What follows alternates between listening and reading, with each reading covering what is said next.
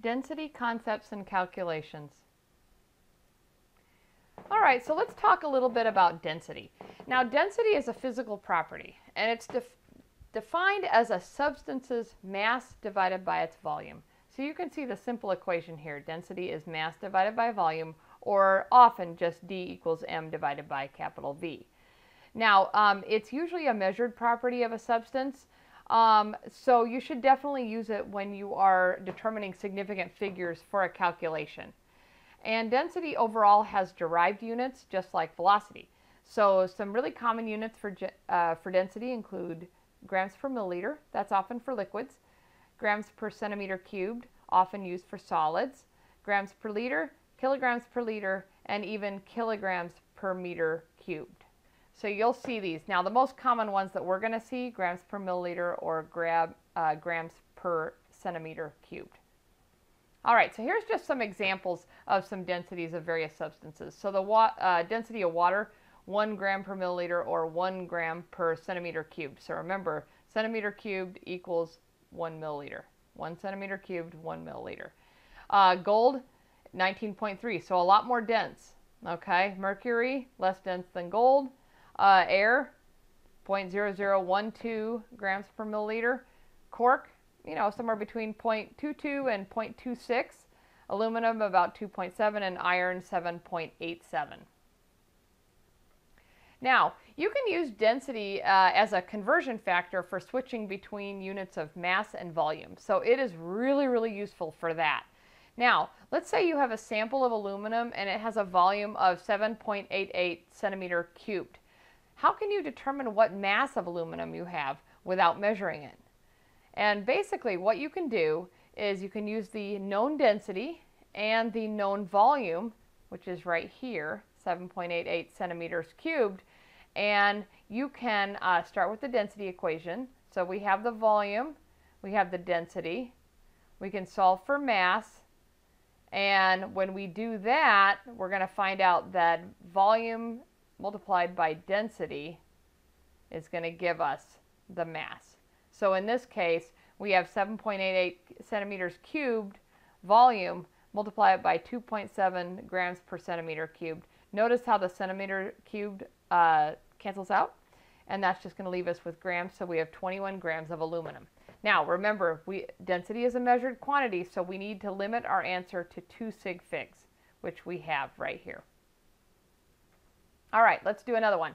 Uh, what is the mass of 44.6 milliliters of mercury? So why don't you go ahead and try that. So D equals M over V, and you have the, uh, the density for mercury in the table previously. All right, so let's go through that. Um, so we're going to use the density for mercury from the table, and if you don't have it on a table, you can always look it up online. Um, and we're going to go uh, from volume to mass in this case. So the density of mercury is 13.6 grams per milliliter. We are starting with milliliter, so we want to use grams per milliliter as opposed to grams per cubic centimeter.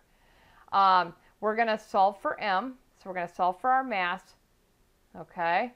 And when we do that again, we're going to find out volume multiplied by the density is going to give us our mass of mercury because we'll have only grams. So the centimeters cubed will cancel out and we end up with 606.56 grams of mercury. Now, we have too many uh, digits there, don't we? Because our density is 13.6.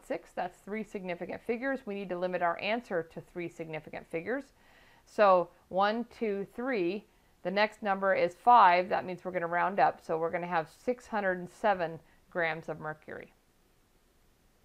All right. Now we can also use density to go from mass to volume, but you have to watch out to make sure that your units cancel. So here's the density of gold, 19.3 grams per milliliter.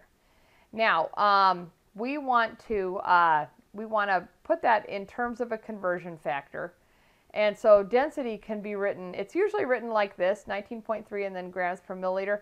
But what isn't said is that the number is assumed to be in the numerator, so it's actually 19.3 grams per one milliliter. Okay, so that's the way that you should read all of these uh, these densities. 19.3 grams for every one milliliter of volume. 1 is an exact number, so we're not going to use it in our significant figures calculation. All right, so let's go ahead and do a problem.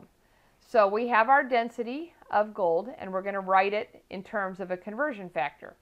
So we're going to take our mass of gold, and we're going to put grams on the bottom, milliliters on the top. So we're going to flip-flop our uh, density. So we're going to have 19.3 grams on the bottom, 1 milliliter on the top, so we're going to divide 45.9 by 19.3. We're going to get 2.37823 milliliters of gold. Now again, we have way too many digits there. Uh, our, we only have three sig figs, 45.9 grams of gold. So we need to limit this to three sig figs. So one, two, three. Look at the next number. It's eight. That means we're going to round up. So 2.38 milliliters of gold. All right, let's do another, uh, another mass to volume conversion. So a cork stopper from a bottle of wine has a mass of 3.78 grams. Um, we know the density of cork, this particular cork, is 0.22 grams per centimeter cubed. What is the volume of the cork? So go ahead and try that one, and then we'll go over the answer. All right, so we're going to use the density again as a conversion factor. So remember, we can write that density as 0.22 grams over 1 centimeter. So there's 0.22 grams per 1 centimeter of volume. Um, let's flip that conversion factor because we have grams of cork and we want to go to volume of cork. So, um, so we're going to put grams on the bottom, 3.78 divided by 0.22 grams, and then of course multiplied by 1, and we're going to get 17.181818 centimeter cubed of cork. Okay. Now, again, we have uh, too many significant figures.